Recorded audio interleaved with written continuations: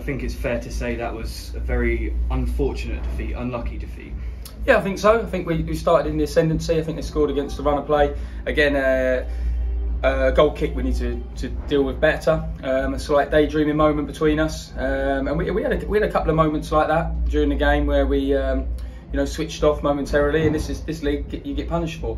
But as a whole, the game, when you overlook at it, um, I thought we had a lot of possession, lots of crosses in the box. Yes, they like that, they defend that very well, but their keepers, you know, I think there's multiple times they're clearing it off the line or it's in and around. On a, on another day, that could have gone in. Um, it's difficult to talk about refereeing decisions straight after the game and the emotion of it, but we probably felt quite aggrieved that uh, you know one of their players stayed on the pitch.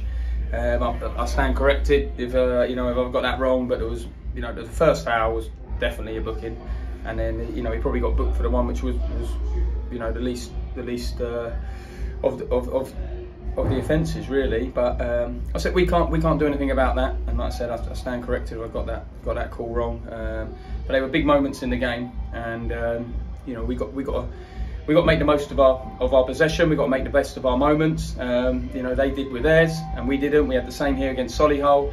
Uh, we started well, and then we conceded, and uh, you know, it's something we've got to, we've got to work hard on. That we're we're switched on at all times with the right body shape, with the right distances.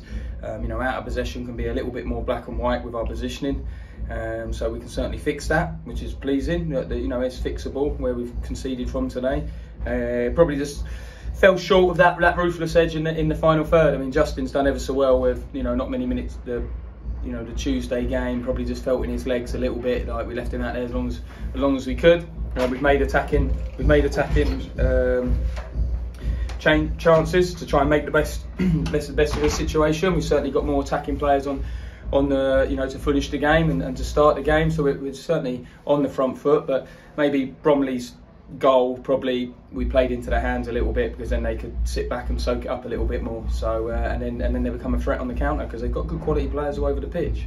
So um, you know we've hopefully learnt a valuable lesson. We know we've got to be more ruthless in and around the box, and and then we also need to not switch off on, on certain moments but I'm, I'm pleased as a whole with the group of the you know how we're growing as, as, a, as a team. When you have unlucky moments in a game like today, and, and, and it was quite a good performance, is it easier to work on in training during the week? Uh, I think so. No, look, I think you know we always analyse, we're bru- always brutal with ourselves, we're always looking to improve. That's the way we work. That's the way we always will, and uh, we'll do the same. You know, sometimes your first thought of a game isn't quite the same when you when you watch it back, um, but the overriding feeling was you know, we had some really good moments in the game. We've put the ball, you know, how many crosses, how many corners. You know, we must be high on the on the on the on the stats count, final third entries, uh, and high on, on, on possession as well. So um, look, we're far from the finished article, as I say it every week, but you can see that the boys are fighting and working, and and hopefully the more we refine, more will get better. We saw Joe Partington and Ryan Glover come off after receiving a bit of treatment on the pitch. Can you give us any updates yet? yeah, those? that was that was a, a shame to lose your, your, captain in the centre of the park so early on in the game. So that that, that, that was a frustrating one. That is an, an injury. Ryan's was more cramp. Um, so you know he's, he's was an injury so to speak, but you know it's something we need to monitor and manage manage that because we want him to finish in 90 minutes. You know at Chesterfield we had to enforce that change and we've had to enforce one again today. And, ride's full of running and energy, and later on in the game we need that even more. So um, you know, it's something we'll, we'll work work with him on. Um, like I said, we had good options from the bench. We just needed to just really try and turn that screw, and uh, we couldn't quite do that. Well, from to, um, from Monday, obviously we will have one more member in training with, with Frank Vincent coming in, so that, that's a positive. And also we saw Francis and Marty as well.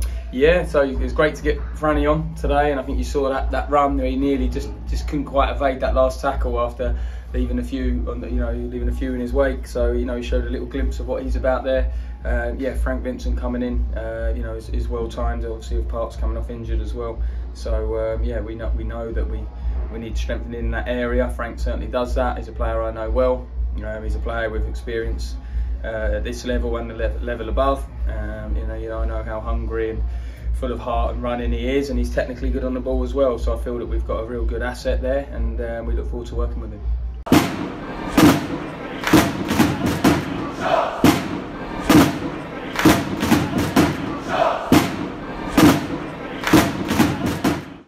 Click here for the latest match highlights and click here to subscribe. Are you in with a shot? Look below for more information.